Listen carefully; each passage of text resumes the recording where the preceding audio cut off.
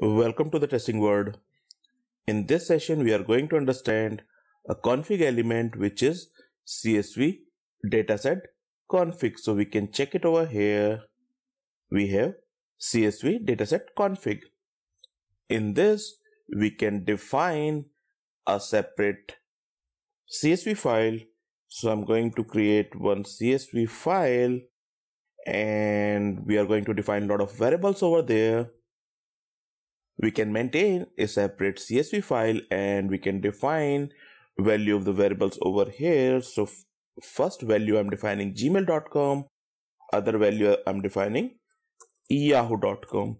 So as of now, we have one row in one row. I have defined two values. We can save it. I'm saving it to any location. So I'm saving it to my the format should be CSV. So I'm selecting the format.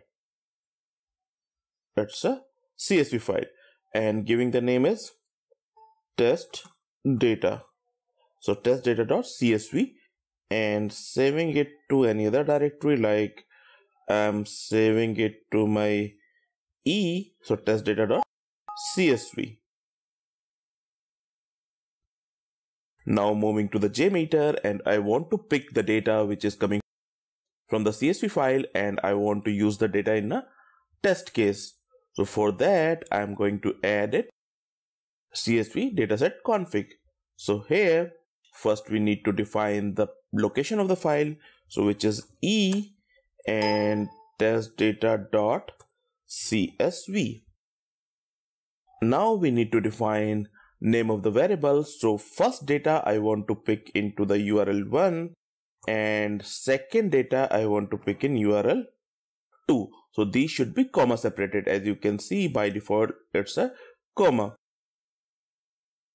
And now so both the variables will come and store into the URL 1 and URL 2. I can use the value of the URL in our steps. So again using by dollar url1 and then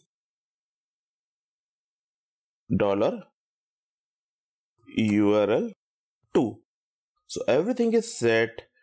I am clearing the result running it. So first it will execute dataset config which will pick the data from csv and store into the url1 and url2 then my samplers are going to execute with the data which is coming from the CSV file.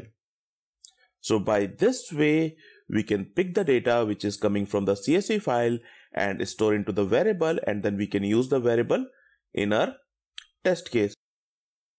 We are going to use this CSV go dataset config when we have a lot of variables and the value of the variable are frequently changed. So in that case, we will define a separate file in which we will maintain values of all the variables and and we will use these variable in our test case.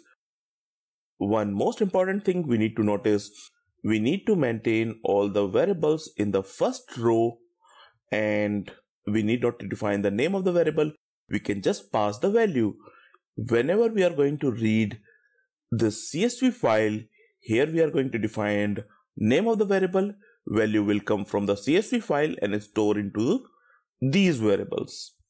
After that, we can use these variable anywhere. As of now, I have added this CSV dataset config on the thread group level means we can use this CSV dataset config in this test case only. But if you want to make it global, like if we have 20 thread group and I want to use these variables in all the thread groups, then we can place this file at test plan level. So now this file is in the test plan. It can be used by the thread group 1 and if we have more thread group, so we can use that value in the more thread group as well. Like I have a th two thread group. Now I have two thread group. So the value which is coming from this file can be used in any of the thread group. Thanks for watching this video.